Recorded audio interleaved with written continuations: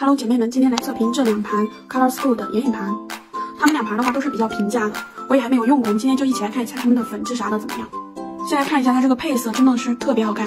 它这个配色感觉就是很温柔的那种玫瑰豆沙盘的那种感觉，而且它这里边的话是眼影，然后高光修容都有的，摸起来的话是比较丝滑的。这个高光这样一看就是那种非常好看的香槟金的闪，而且它这个粉质很好，压压盘压的很实。延展度绝了，可以拉这么长。再来试一下它这一个修容色，这个修容色的话，感觉是偏红色一点的，比较适合侧脸修容。再来试一下它这个亮片色，你敢相信这是十几块钱的眼影盘吗？天呐，这个闪绝了，太好看了呀！这个闪，而且它延展度真的很好，我可以从这里拉到这里就抹了一次。再来试一下这个哑光色，哑光色的话还可以，显色度也是挺好的。这一盘所有的试色都在这里了，整体来说我觉得还是可以的。像这个颜色其实可以用来当做腮红，然后现在再来看一下这一盘，它是零二号色，这一盘的话感觉更适合肿眼泡，用处要更多一些。这个就是可以用来当做画眼线的，这个是腮红，然后高光，这个是修容。它这个高光的颜色是这种偏银色一点的那种水光的感觉，这个亮片色跟刚刚那个亮片其实有点像的。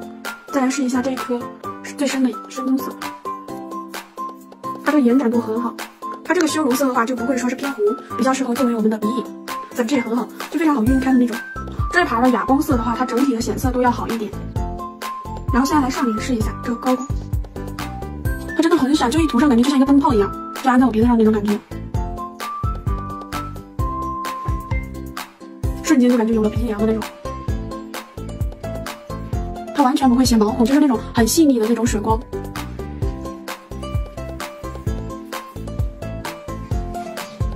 然后我现在用它来画一个眼妆。这个眼妆就画好了，画了一点点眼线，因为我的工具带的是真的不齐，就带了一点点东西，所以说就画了一点点。但它这个闪片是真的很好看，现在就是一个自然光。那现在就来总结一下这两盘眼影，首先是它这个配色真的是非常好看，就那种日常百搭，然后一盘还可以多用的那种。而且它这一盘的话就才十多块钱，就比较适合学生党和贫民窟女孩。它这种亮片的话还是粉质比较细腻的那种，而且特别丝滑，延展度很好，一拉就可以拉很长。而且它这个就像那种碎钻的那种闪片一样。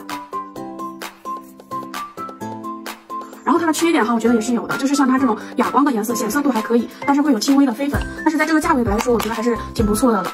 因为在这个价位的眼影里边，基本上像哑光的颜色，它都是有一点飞粉的。然后就是它这个包装的话，是这种亚克力包装，就是这种比较有质感一点的这种透明的壳子，拿在手上不会显得很廉价的这种。如果要给它打分的话，我觉得可以给个八分，真的是蛮不错的。今天测评就到这里啦，拜拜。